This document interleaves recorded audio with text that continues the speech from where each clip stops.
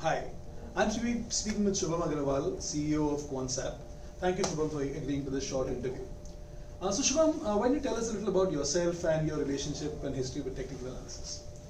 Hi, Joel. First of all, thank you for having me uh, at the summit, and I'm really looking forward to it.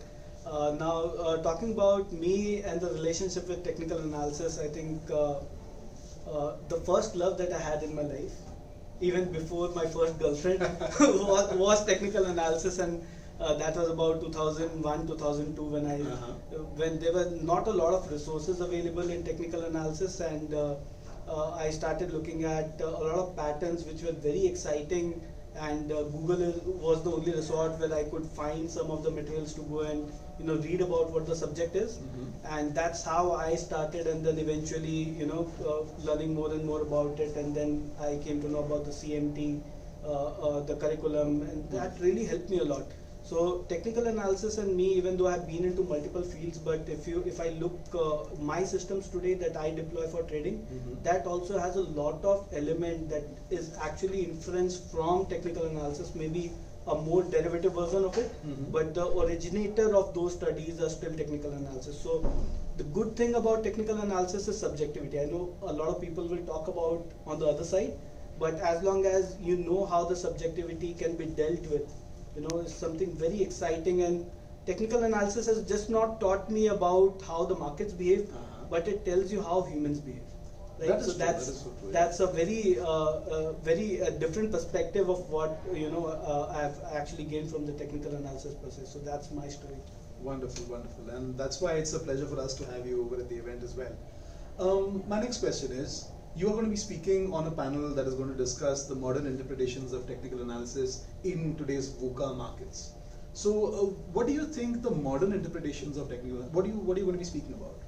So if we if we look at uh, so we know a lot of indicators, Mhm. right? And uh, and you know the more and more competition that comes into. So if let's say if there are 100 technical analysts following some of some set of studies, uh, what I have observed is that gradually, let's say if you are following an RSI, so RSI if you Google if you go to Google Trends, that was Right. one of the largest followed indicator. Mhm. right? But the same old story of you know 30 70 30 or maybe 20 80 wouldn't really work for very long. True. right? Because a lot of people come into the game and they start following it and that's how it evolves. So in the traditional way you cannot really succeed for a very Mhm. very long time so i'll give you an example so i used to trade a lot of symmetrical triangles head and shoulders moving average crossovers divergences Right. right, but then uh, from a strike rate of about 80% between you know i'm talking about 2005 and before that the strike rate was very very high so if i find a pa- pattern i would actually put a trade and immediately you have your money to, to grab right? Right. but then the strike rate eventually started diminishing and it went to 50 Mhm. or maybe around that right so the market will become more and more random and then i realized that the, the maybe the pattern breakouts is not giving me good returns Mhm. but pattern failures are Right. right so if Mhm. if a symmetrical triangle breaks out on the upside Mhm.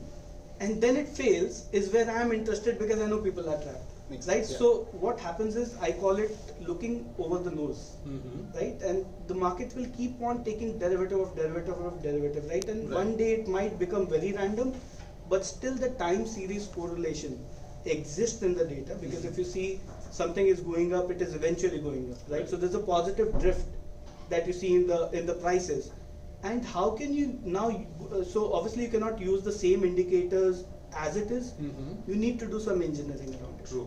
Right so that's what i think i would be looking to speak uh, at the summit that how can you engineer Mhm. some of the existing tools that you know to go and mold it in a way that you know uh, uh, you can go and deploy maybe an advanced system or you can even go and algo trade on it Right. right so i think uh, this is something which the world is getting into right now because we also meet a lot of our clients who who deploy systems which are on algorithmic trading and this is something which is a very uh, big area of interest Mhm. that how can you use uh, some of the indicators which are well known Mhm. and combine it with a uh, with a uh, you know process which can actually go and do some kind of a analysis for you which is more otherwise subjective becomes objective Makes a lot of sense. And I think that's something that our audience will also like to understand a lot more about from you and your co-panelists as well. So it's really exciting. The inaugural CMT India Summit is happening on the 23rd of November, Saturday, at the Taj Lands End. Let me ask you this, um, Shubham, what are you most excited personally to be at the summit for? So there are two reasons that I'm most excited about. The first one might be common with a lot of other co-panelists, is that Martin Pring, and you know, he he's the guy who has inspired uh, a lot of technical analysts globally on what intermarket analysis is all about. And I have wrote reports for four five years on those lines, and you know, he's the guy from where I got inspired. So obviously, I would want to meet him in person. And the second factor is that you know if you if you look at the Indian markets, Indian market has the highest population of technical analysts on the earth, right? So if uh, if there's a gathering of so many people coming into a single event and Mhm. you get to meet so many perspectives of how people are using the systems and and if I get maybe a perspective of someone, if let's say if one of the guys following some system, which inspires me to go and create my own another Right, system, I think that's what uh, I'm looking for, and that's the reason why I attend a lot of events, so that if you get one inspiration, that's that's all you're looking for. That makes so much sense. And really, yeah, that's the kind of environment that we are looking to create in India within the world of technical analysis, and it'll be wonderful to have you there. So thank you so much for your time, you. Shubham, and we look forward to seeing you at the summit. And we look forward to seeing you at the summit as well.